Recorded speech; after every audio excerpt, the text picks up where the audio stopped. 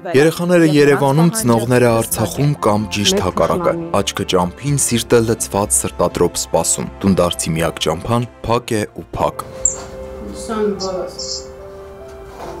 Баски, баски. Փոքրավա կյանքս։ Հա։ Без настроения есть? Наш дети Խոսա Անգելին հետ։ Ինգե խոսա Ангел,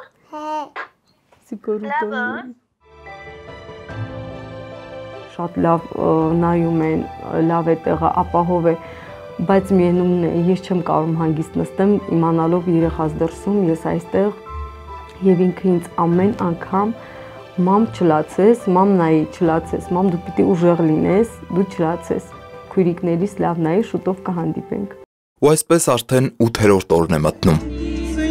Երևանի այգիներից մեկում է։ Արցախցի փոքրերը հայրենասիրական կատարումներով են միանում կյանքի միակ ճանապարհի բացման ու սեփական հողում ազատ ապրելու իրավունքի համար տարվող մեծերի պայքարին։ Եթե երեխաներին ու նրանց ծնողներին ինչ-որ կերպ հաջողվում է համբերել ու սпасել, ապա Արցախի բուժաստատություններում ծայրահեղ ծանր վիճակում գտնվող մարդկանց դեպքում սпасելը կարող է կյանք արժանալ։ Հանրապետական բժշկական կենտրոնի ռեանիմացիոն բաժանմունքում գտնվող 11 բուժառուներից 4-ը ծայրահեղ ծանր վիճակում էին։ Արավոտյան հայտնի դարձավ, որ ծանր վիճակում գտնվող մեկ հիվանդ մահացել է։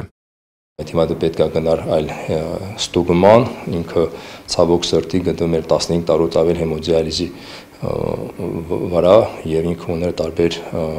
դեկոմպենսացված վիճակ, ինքը մահացել է Շտաբ վիրահատության կարիք ուներ 62-ամյա տղամարդը։ Սրտի բաց ու անհետաձգելի վիրահատության ենթարկելու համար Կարմիր խաչի ուղեկցությամբ հաջողվեց նրան այսօր Արցախից Հայաստան տեղափոխել։ այսօր ը, 1960 թվականի ծնված տղամարդը, որը միջ փակումը մենք իրականացրել է կրանար անգիոգրաֆիա, որի հետևանքով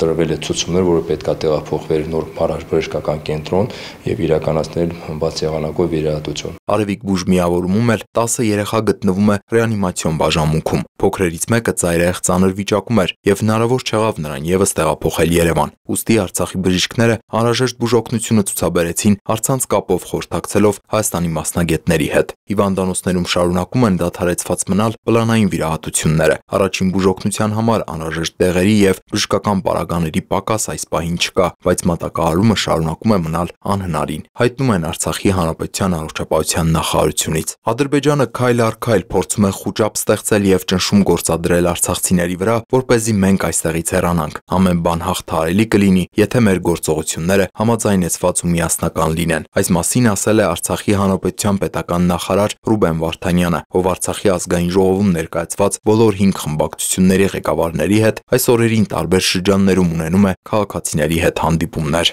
Ես ուրախ եմ, որ մենք այստեղ բոլորս իրար միասին ենք եւ շատ կարևոր է որ եւ ազգային ժողովը եւ կառավարությունը աշխատում իրար հետ միասին։ Ռազմական դրությունը պահանջում է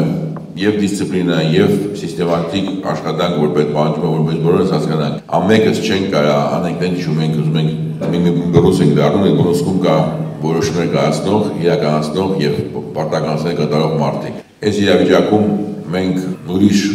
հնարավորություն չունենք բացի հասկանալու դա,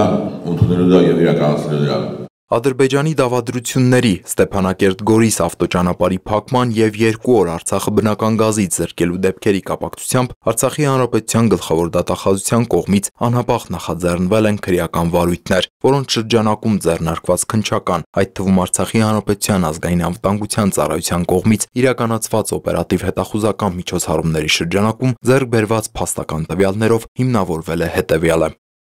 Ստեփանակերտ Գորիս ավտոճանապարհի զավթումը կազմակերպած Ադրբեջանի քաղաքացիների գերակշռող մեծամասնությունը հատուկ ծառայությունների նախկին կամ ներկա աշխատակիցներ են։ Բարձրաձայնվող բնապահպանական խնդիրը ընդհանրեն օգտագործվում է որպես սեփական արարքները արդարացնելու եւ դրանց հիմնավոր տեսք հաղորդելու միջոց։ Ադրբեջանը հետապնդում է Արցախի հանրապետության տնտեսության հիմքերը խարխլելու բնակչությանը եկամտի աղբյուրից աշխատատեղերից զրկելու նպատակ։ Ադրբեջանի քաղաքացիների կողմից իրականացվող գործողությունները հակասում են 2020 թվականի նոյեմբերի 9-ի Երրակողմ հայտարարության դրույթներին, դրանով արձանագրված ստատուս քվոին։ Արցախի հանրապետության քաղաքացիները որպես այդ տարածքի բնիկ ժողովուրդ եւ իրավատեր միջազգային իրավունքի ուժով ունեն այդ տարածքի հողի շրջակա բնական միջավայրի բնության եւ ընդերքի տնօրինման, տիրապետման եւ օգտագործման իրավունք, որը Ադրբեջանը փորձ է անում անտեսել ու չեզոքացնել։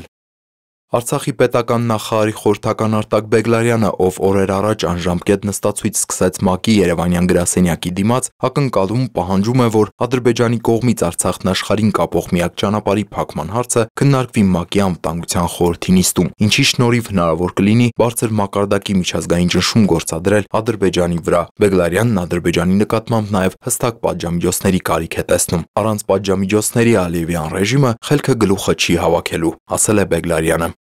Տիգրան Ուվակիմյան, Նորա Հայրումյան, Արմինե Պետրոսյան, Վոլոդիա Վոլովչենկո, Հորիզոն